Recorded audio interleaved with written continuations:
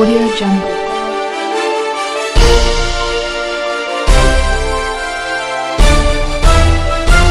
Audio Jungle.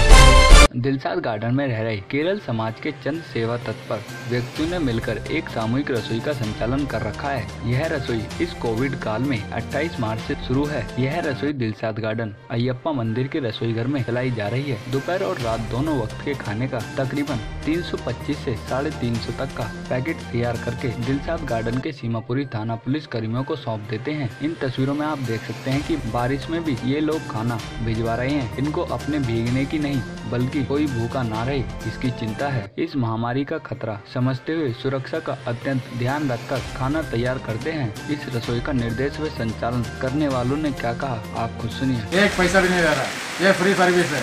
जितना मेरे से हो सके उतना मैं करूँगा। मेरे आखिरी मेरा काम है, जरूरतमंदों को मदद करके लेना।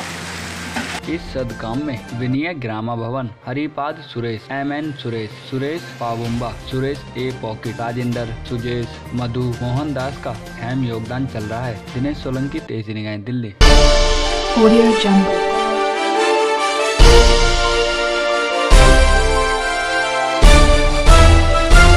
Audio Jungle.